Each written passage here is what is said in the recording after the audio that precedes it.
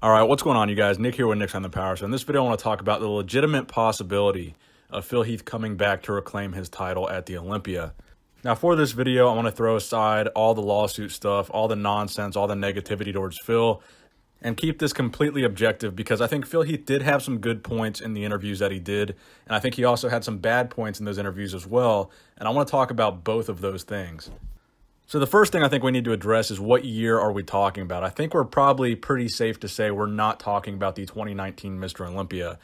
Phil has suggested several times that he's going to wait and take time to heal um, before he comes back to the Olympia stage. And he even said on Dave Palumbo's interview, probably not, when Dave asked him if he would be competing at the 2019 Mr. Olympia.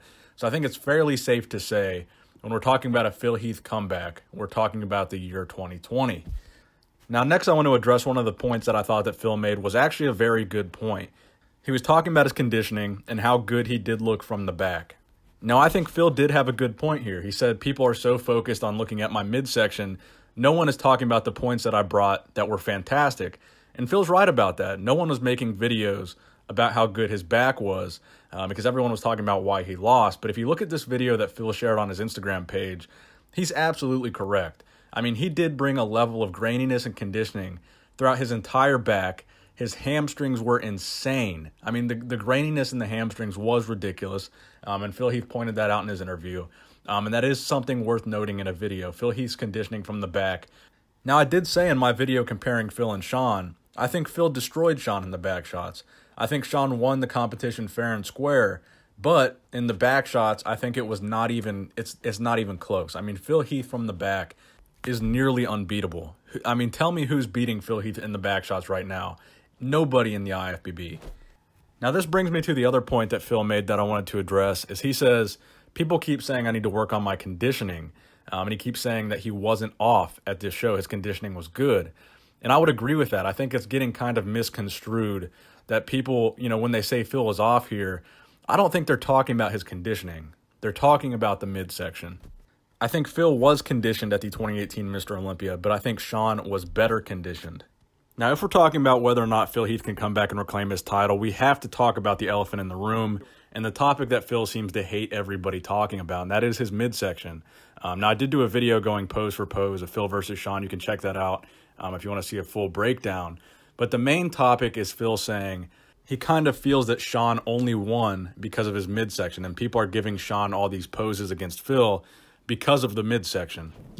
Now, Phil says the problem with his midsection is that he had torn incisions from his hernia surgery. And I'll be honest with you guys, I believe him. I believe that his incisions did tear, and this did contribute to the distended stomach. Now, do I think these incisions were the entire contributing factor to the midsection looking the way it did? I don't think so. I do think they made it look worse. I do think they certainly made it harder to control. But I think Phil Heath's physique has evolved to a point now um, where there's always going to be some element of blockiness to the midsection. Now, that being said, I think the weakness in his midsection was extremely exploited in between poses where he couldn't seem to control it at all. And that I do believe could have been because of these torn incisions. So I do believe there's a possibility that this is entirely true. Phil Heath could get this fixed. He has a surgery this month, I believe. Um, and he takes enough time off to let everything fully heal and he could come back without this problem being present. So I will say this: we can all like or dislike or have whatever personal feelings we have towards Phil, um, all this lawsuit nonsense and all that stuff. Put all that to the side and consider Phil's actual physique. Consider Phil as a bodybuilder. Um, when we're talking about whether or not he can come back and take his title back, I think there is a legitimate shot that Phil Heath can come back in 2020 and get his eighth Mr. Olympia. However, I do think the only way he gets that win is if the midsection is completely fixed, completely controlled, not just during the poses, but in the transitions.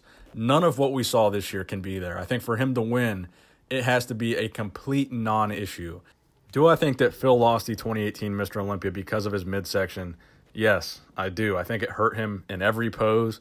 Um, it was exacerbated in the transitions and that's why I made videos discussing it. I mean, Phil kind of acts like, you know, people are trying to make this narrative about his midsection and make this the story, make the midsection um, bigger than it really is, make it the big story about 2018, when really it is the story. I mean, I think that's the reason why Phil lost. I think that's the reason why people are talking about it. Um, read the comment section on any channel.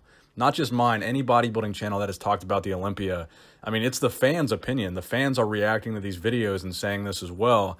It's not just the people, you know, who are making bodybuilding videos. I think this is the opinion of everybody. I mean, other pro bodybuilders have weighed in on this, ex pro bodybuilders have weighed in on this, quote unquote bodybuilding experts have weighed in on this. I think everybody seems to agree the midsection is the reason Phil lost.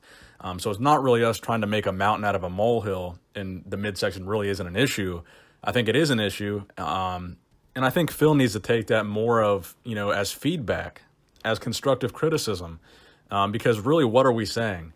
If Phil Heath corrects the midsection, we're saying he's going to win the Olympia again. So really what we're doing is we're telling him what we think the problem is since he's, he seems confused as to why he lost. Um, and everybody is kind of saying this is the problem. So we're telling him, you know, this is how you're going to win the Olympia again. And I've even said, despite all the drama, despite the lawsuit stuff, all that nonsense, I would like to see Phil come back and take his title back. I love a good comeback story. Uh, I loved when Jay Cutler did it in 2009. It was, you know, one of the most hyped Mr. Olympias ever. Um, and Jay Cutler came back looking phenomenal.